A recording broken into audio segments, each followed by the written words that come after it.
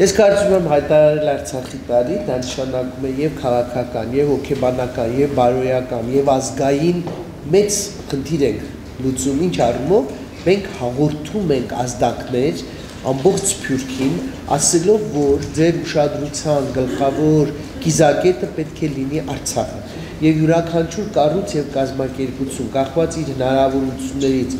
իր ընդունակություններից, իր միջոցներից կարող է Արցախին օգնել։ Ես օրինակ բերեմ, ընդամենը օրեր առաջ Լիբանանի 1 դպրոցում կազմել էին հատուկ ծրագիր, թե ինչ ինչով պետք է օգնեն Արցախին։ Երեք ուսուցչի ներառական կրթությունը վերապատրաստելու համար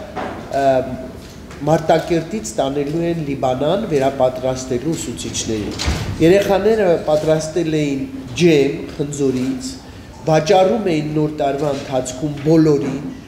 ստացված գումարով պետք է գնեին սայլակներ, հենա հենաշարժային դժվարություններ ունեցող երեխաների համար համապատասխան միջոցներ, որպիսի փոխանցեին սահմանափակ ընդունակություն ունեցող Արցախի երեխաներին։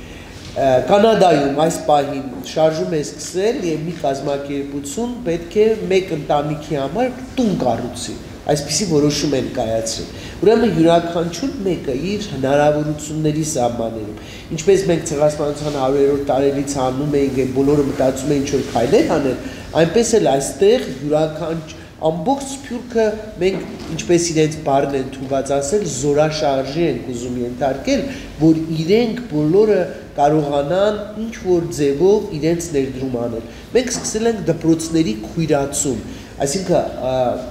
Ղարաբաղի դպրոցների գտնում ենք սփյուռքյան դպրոցներ եւ նրանց կապում ենք իրար հետ դա ինտերնետն է դա նամակագրությունն է դա երեխաները փոխան երեխաների փոխանակման հարցերն են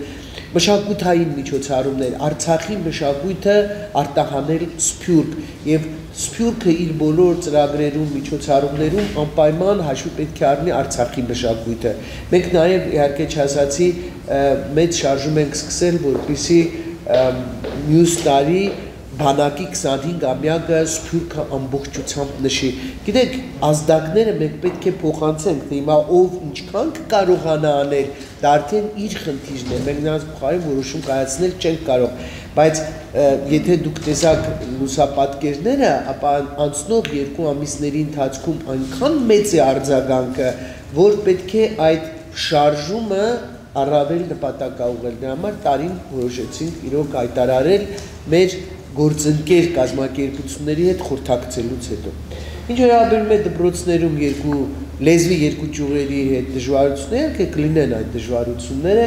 մենք պայմանավորվածություն ենք Լևոն Մկրտչյանի հետ, ես նաև հանրապետության վարչապետին եմ զեկուցել, որ ափսոս է արևմտահայերեն իմացող այս խմբին մենք ամբողջությամբ կորցնենք Իհարկե մենք պետք է որոշ դպրոցներում արեմտահայերեն խորացված ուսուցում կազմակերպենք։ Մենք դրանով եւ Սիրիայից եկած ուսուցիչներին կկարողանանք օգտագործել ծանրաբեռնել, որտեղ 40-ից ավելի ուսուցիչ կա այստեղ։ Եվ երկրորդ մեր լեզվի կարևորագույն ճյուղը կկարողանանք Հայաստանում առավել զարգացնել։ Սա մեր պետության գլխավոր հիմնահարցերից մեկն է եւ մեր լեզվի պահպանումը, մակրությունը, անաղարտությունը, փոխանցումը սերունդներին դա զուտ հայության գործն է, դա մեկ ուրիշինը չէ։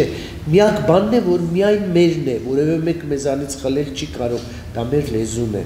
Մեր հարևանները ամեն ինչի համար կռվում են, լավաշինն է, տոլմանինն է, զգեստինն է, տարազնինն է, բայց լեզվի վրա չեն կռիվը տալիս։ Դրա համար էլ եկեք այս լեզուն ավելի լավ պահենք ու պահպանենք։